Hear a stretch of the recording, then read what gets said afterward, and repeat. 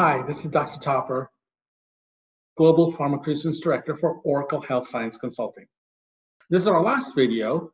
We've already discussed about standardization, consistency, rationale, and in this video, having to do with how to survive or how to mitigate the risk in an audit or inspection for pharmacovigilance operations.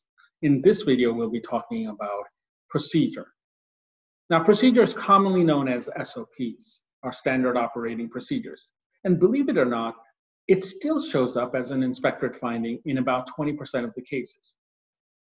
So what is really going on? Now we have already instituted across our departments a way to catalog our SOPs, our standard operating procedures, a way to catalog our review states, usually on a two-year review cycle, a way to catalog our signatures, electronic signature or a database or a hard copy signature that's scanned up into a documentum or an otherwise repository, a way to log when an SOP is taken out for review, and that is either through a system such as QUMAS, TrackWise, etc., through a, a, a validated uh, housing system, usually um, controlled by quality affairs or training group, so then why does this still show up as a finding in inspections if we have so many controls around it?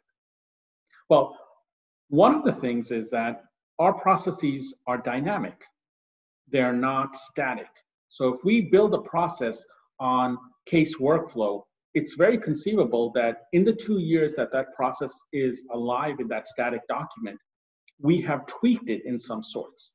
Perhaps the handoff is different. Perhaps the user group has changed. Perhaps we've named uh, an entity that will then have a participatory role in that case management process. But we, what we've failed to do, because we think that in a two year cycle we'll address it on the next review, what we've failed to do is actually make this a living document.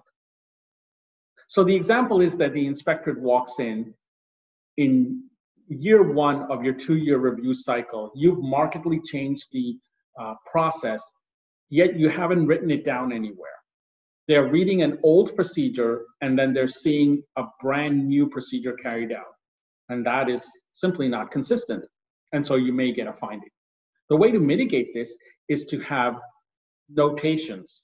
And you can certainly have addendums, you can have notes, and you can simply just state in a note to file that we have changed the procedure in such a way and we will address these in the next review cycle and insert them into our SOP. If you find that what you've changed is detrimental enough and has a rippling effect across other procedures, then certainly you can ask your quality affairs group to take it out of a two-year review cycle as an exception and address those changes right then and there to be in the completely safe side. But often it's not necessary to do so. You simply have to show due diligence in keeping up with your procedures. Because even the inspectorates know that the procedures are rarely looked at except when the review cycles come up. So they will look for whether you have changed something. And small editorial changes, names of entities, if you're not called pharmacovigilance operations anymore, you've added drug safety and pharmacovigilance to your title, those things are nominal. Those things do not have any bearing we are talking about actual procedural changes. So in this series, we have talked about how to mitigate certain areas when dealing with a audit or safety inspection, namely standardization, consistency, rationale, and procedure. I hope you've enjoyed these mini series. In the next uh, part series, we'll talk about the case management workflow and any automations and uh, artificial intelligence that can help us create efficiencies. This is Dr. Thapar for Oracle Health Science Consulting. Thank you for joining me.